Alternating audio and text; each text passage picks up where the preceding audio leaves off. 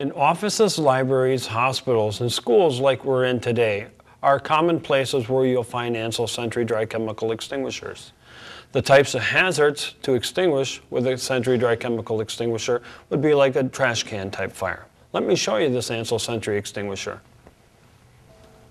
In most locations, you'll find the extinguisher on a wall hanger bracket or inside an extinguisher cabinet.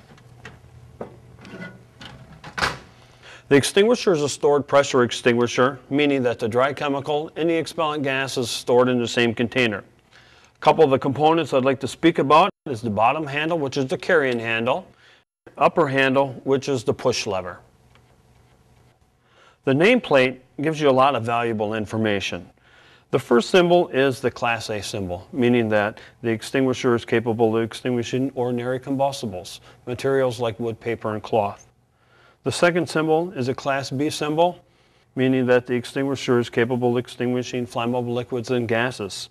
And the third symbol is a Class C, meaning that the agent inside is a non-conductor of electricity. Some of the other information you'll find on the nameplate are the instructions of how to use the extinguisher. To use the extinguisher, you want to place it in your left hand. You want to remove the ring pin, remove the hose from the hose retainer placing your finger along the nozzle tip to guide the dry chemical stream.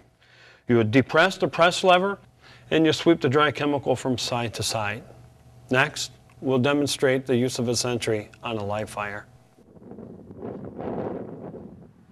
We're at the Ansul Fire Technology Center. The fire we're going to demonstrate is a Class A hazard. The extinguisher we're going to use is a Sentry Store pressure multi-purpose dry chemical extinguisher. I'm going to turn it over to the professional firefighter.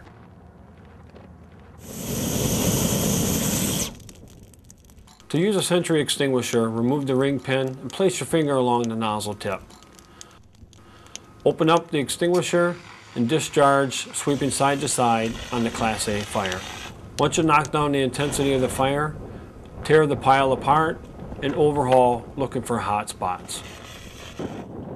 Fire's out, shut your nozzle off, and back away.